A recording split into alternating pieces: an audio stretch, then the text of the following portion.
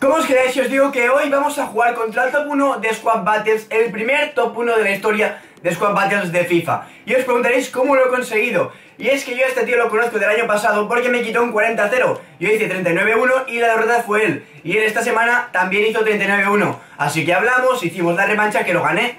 Y ahora vi que ha hecho top 1. Así que le dije, hacemos un partido que quiero para el canal, jugar contra el mejor jugador del mundo de Squad Battles. Así que yo por ahora no he perdido ningún partido contra ninguna persona y él es el mejor del mundo jugando contra la CPU. Por cierto, al final del vídeo os enseñaré tanto las recompensas que he tenido yo, que son una mierda porque no he jugado mucho, y mi opinión sobre este modo de juego. Así que no me enrollo más y vamos a ver qué tal se da este partido. Vamos a ver ahora qué plantilla nos lleva el top 1 de Squad Battles y como veis, el medio campo es bastante normalito, la delantera es muy muy potente, pero la defensa es una burrada. Ferdinand Icono es una maravilla, es de lo que más quiero yo en este FIFA. Bale también es una maravilla, Bellerín también. Y el lateral creo que hay mejores. Pero el problema que yo podría tener es la delantera, porque él juega muy bien con los extremos y el delantero, porque ya jugó el año pasado. Y la defensa. Mirad lo que voy a hacer yo ahora mismo, que pongo la 4-1-2-1-2, el rombo cerrado. Y voy a quitar a Madrid, el plata este que tengo por la química. Lo voy a quitar por Dele Ali, que es un nuevo fichaje. Y pondremos a Bakayoko de medio centro defensivo. Os aviso, es un partido que había lag, no sé por qué, pero había lag. No sé si él tiene mala conexión. Alguna vez que he jugado contra él, pues ya me ha pasado, pero lo digo. ¿Por qué lo digo? No es una excusa por lo que pueda pasar.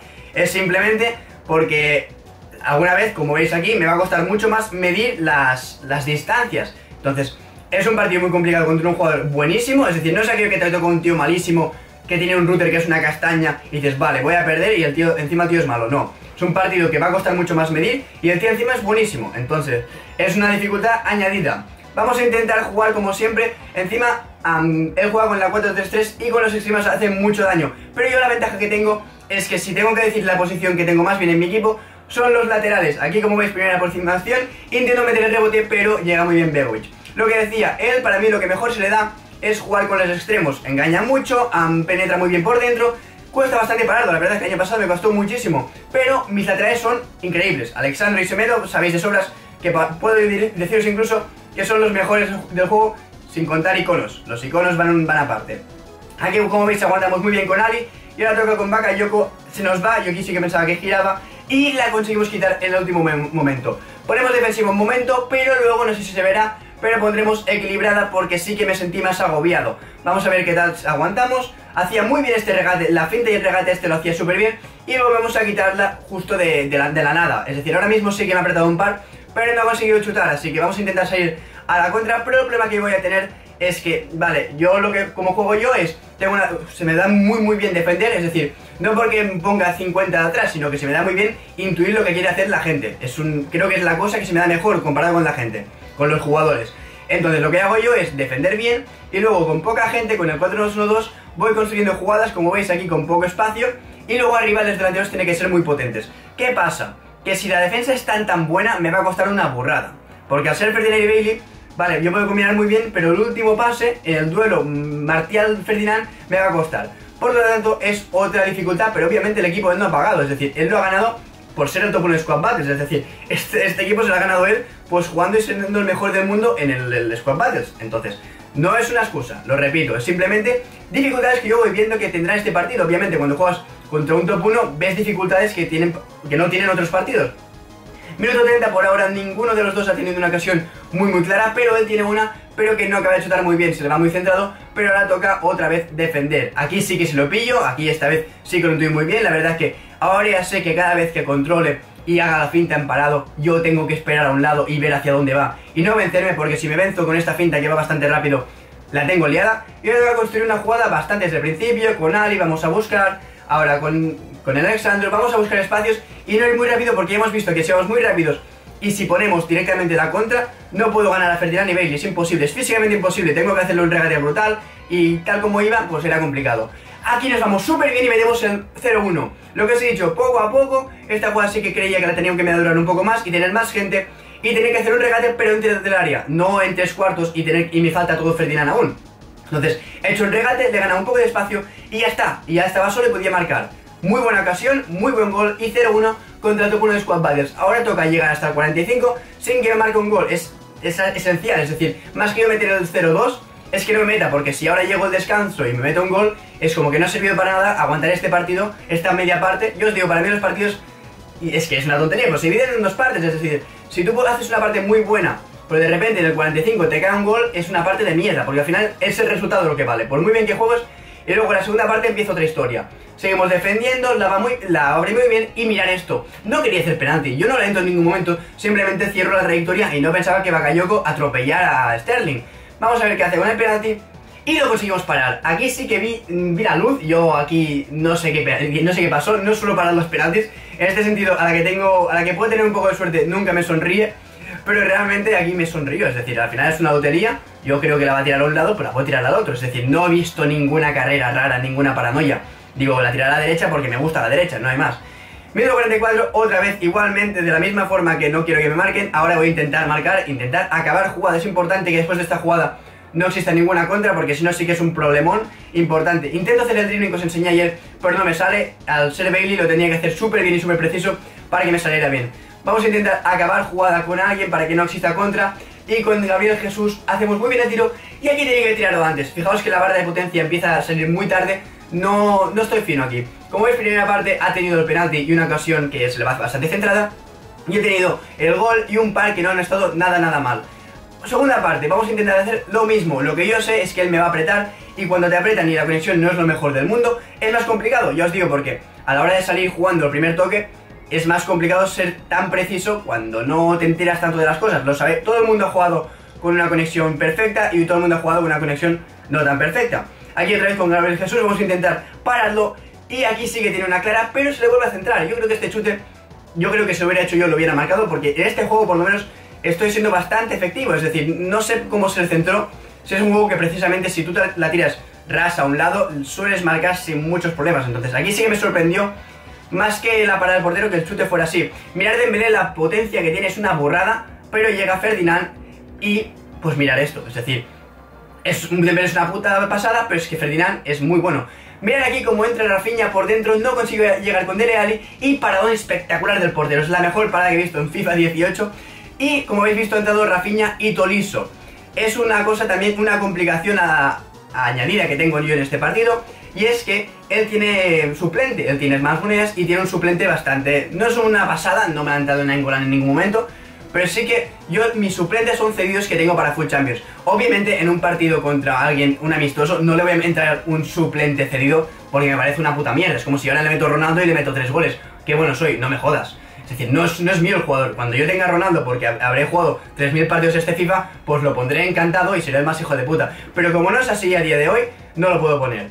Entonces, es una dificultad que tengo que tener en cuenta. Mira el minuto 74. He intentado hacer una posición larga, pero soy incapaz. Se me cuesta muchísimo no ir a saco. Es un problema que tengo. A veces sí que tengo que, poder calmarme un poco más, pero me cuesta mucho. Lo que os decía, minuto 75 es un momento en el cual él me va a apretar un montón, pero yo lo que tengo que conseguir es llegar hasta el minuto 80 vivo. Vivo me refiero a que no me marque ningún gol. ¿Por qué? Porque es segurísimo, 100% seguro, que si llega al minuto 80, 85 y no me ha marcado, irá con todos al ataque porque me tiene que marcar un gol y como estáis viendo, sí, ha tenido el penalti y una muy clara. Pero no acaba de chutar, las estoy quitando todas de la línea, o sea, no de la línea, pues si está a punto de chutar, se la quito. El último pase, se la quito. Entonces, yo sé que él se va a desesperar cuando falte poco tiempo y pondrá todos arriba y será mi momento para hacer la contra letal y ganar el partido. Así que tengo que estar súper concentrado en defensa los últimos minutos y poder ganar el partido. Aquí la lío parda porque con Gabriel Jesús si me giro tengo el gol seguro, pero la, la lío parda pues no sé por qué. Aquí pongo en defensiva. Digo, vale, tengo 10 minutos para aguantar un resultado. Aquí con Semedo, ya os digo, tanto Semedo como Dembélé me parecen una burrada. Hago la pared porque sé que si no va a seguir con el extremo. Hago la pared para que no lo siga. Y aquí, otra ocasión que tenemos aquí, podía haber matado el partido, pero no lo consigo. 0-1, minuto 85. Faltan nada, 5 minutos y tengo que, aguantar un gol. Aquí como veis está Ferdinand arriba, por lo tanto es mi momento porque sin Ferdinand es como que no están los padres y puedes liar la parda. Y pasa lo que pasa, que se va Ferdinand, C2, minuto 90 y con esto sí que sentenciamos el partido completamente porque no hay tiempo material para que meta dos goles. Pero igualmente, yo en este FIFA sabéis lo difícil que es defender. Quiero conseguir la portería cero contra el top 1 de Squad Battles. Que se dice pronto que sí, que le he parado el penalti y la ocasión esa era clarísima. Pero igualmente es 0-2, es decir, por las circunstancias que sean, pero no me ha marcado en este partido. Seguimos defendiendo y ahora sí que sí, llegamos con Semedo y pita la final del partido y conseguimos ganar con unas estadísticas súper igualadas al top 1 de Squad Battles. Siempre que sigo partidos de este estilo al canal, como veis, se deciden por detalles, por fallar un penalti, por una parada del portero, por un acierto del otro. Esta vez ha pasado lo mismo, es decir, un acierto en mi primer gol, que es una jugada muy buena, una, un penalti parado y una ocasión, y luego ya a la contra lo mato. Ahora ya no me voy a enrollar más, voy a decir una cosa que quede clara, las recompensas las he abierto antes, porque sin querer las reclamé, entonces quedaba muy cutre tener los sobres ahí sin ver dónde había llegado, entonces me veréis con barba, no os rayéis, no, no he mutado en un momento, simplemente que lo, que lo abrí ayer, ayer y yo me he afeitado. Así que vamos a ver las recompensas y mi opinión sobre este modo de juego. Vamos ahora con las recompensas, pone Elite 1, yo tenía entendido que había hecho Oro 2 o Oro 1, así que no entiendo qué ha pasado. Vamos a continuar. Sobre un juego Premium, 13.000 monedas, creo que esto es una recompensa de Oro 1, pero ponía Elite 1, me da la sensación. O de Oro 2, voy a ver tu puesto... Vale, se vuelve a actualizar. Vale, vale, vale, vale, vale se ha vuelto a actualizar. Vale, vale, vale, vale. Pero bueno, creo que ya había hecho oro 2. Así que vamos a la tienda. También tenemos los sobres de Ronaldo Edition, que cada semana nos dan algo. Así que empezaremos con los de Ronaldo Edition, que no sé si son peores o mejores, pero bueno, si nos lo sacamos de encima. Empezamos por aquí, por el Mueller este, a ver si nos sale algún panel. Ya me habéis dicho que sale brillante por abajo, pero no sé detectarlo muy bien. No hay panel, pero bueno, es brillante, algo nos pueden dar. Ser... ¿Qué cojones, tío? Fecha, tío, claro que no es el nombre de defensa. A ver, tiene defensa y tal, pero bueno, o sea, es de la liga portuguesa. Entonces, Bernat, Niom, contratos que van muy bien. Y esto recordad que es por lo de Ronaldo. todo lo otro será por las Squad Battles que hemos hecho Oro 2. A pesar de que ponía Elite 1, es Oro 2, que no se engañen. Ya os engañaría yo, pero no, no es el caso. Vamos a ver, pulsar para omitir. No. Vamos a aguantar para ver si sale algo brillante. Nada, nada, nada, pero castaña. Castaña fuerte, chicos. López, buah. Me cago en la madre que me parió. De locos. Entonces, ¿qué, brilla? El plata brilla y contratos. ¡Qué mierda de sobre! Vamos ahora con la cesión. Puede ser el mejor del mundo, pero vamos, son solo tres partidos. Pero dentro que hay es un sobre que nos llevamos para el canal. Que ahora molaría mucho que fuera un IF increíble con panel. Bueno, panel habrá seguro porque sí. Claro, obviamente. Tres partidos. Brasil. Defensa. Qué castaña, tío. ¿Quién es? Hilton. Eh, oh, no, lo voy a usar ni para limpiarme el culo eso, tío. Ni, ni para limpiarme el culo usaré a Hilton, chicos. Esto sí que ya es Squad Battle. Estos dos sobres son Squad Battle, jugadores Oro Premium y Jumbo Premium. Vale. Empezaremos por aquí. A pesar de que hay más únicos, el otro son todos jugadores, así que nos aseguramos un oro único, a ver si brilla y veo panel. No hay panel, no hay panel, tío, vaya mierda recompensas me han dado. MI... Fuah, MISK... Niki Niki Niki Jam, me cago en la puta, tío. Vamos allá. Seguimos. Que hay dentro... Dios. Las peores recompensas que he visto de la historia. Claro, es que tampoco he hecho nada, tampoco me merezco nada, obviamente. Pero... Último sobre, aquí nos podría sonreír la suerte de una manera increíble. Luego este sobre ya os diré la, mi opinión que tengo sobre el Squad Battle. Pero nos vamos a centrar en tener paneles. No tenemos paneles, obviamente no tenemos paneles. Un panel en mi vida, MCO, bueno, este no está mal este jugador. Gradel no está mal, pero claro, tiene 67. No sé cuánto puede valer, pero si fuera de la Premier valdría pasta seguro. Y Musonda, que es del Chelsea, verdad. Voy a ver cuánto vale. ¿Veis? Vale. Buah, mil, me cago en la puta. Pensaba que valía más. Musonda o sí, ¿no? Musonda mil y pico sí. Vale, ya que hemos abierto los sobres, voy a dar mi opinión sobre las Squad Battle ahora mismo. Mi opinión sobre las Squad Battles, como sabéis, es un modo de juego en el cual tú cada día juegas 4 partidos contra la CPU con la dificultad que tú quieras y en los fines tienes que jugar 8 partidos. En total creo que eran 45 partidos esta semana porque el tema de que el juego salió en martes para algunos, lo, que queráis. El tema es que son una burrada de partidos, son como unos... no, no sé cuántos partidos son, son muchos.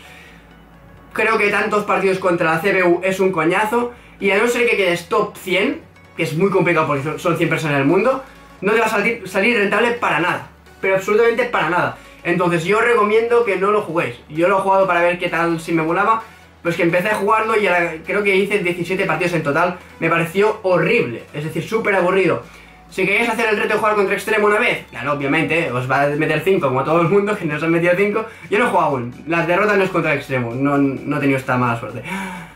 Pero ya os digo, a mí esto no me llama para nada. Si tienes la capacidad de ser top 1 porque si te da muy bien jugar contra la máquina, que no es mi caso, si me da fatal jugar contra la máquina porque no la puedo engañar y ella a mí sí que me engaña, es decir, yo lo intuyo y claro, como ve que me voy, tira para adelante. Y más entonces no me acaba de gustar, es decir, no es, a mí lo que me gusta de jugar al FIFA es que estoy haciendo un duelo contra la otra persona y ganarlo es como que estoy ganando un duelo, es como un combate de boxeo que tú lo ganas y dices, vale, soy mejor que tú. Y a mí me encanta esta sensación de ganar al tío. Soy competitivo, pues ganar al C1 me gusta.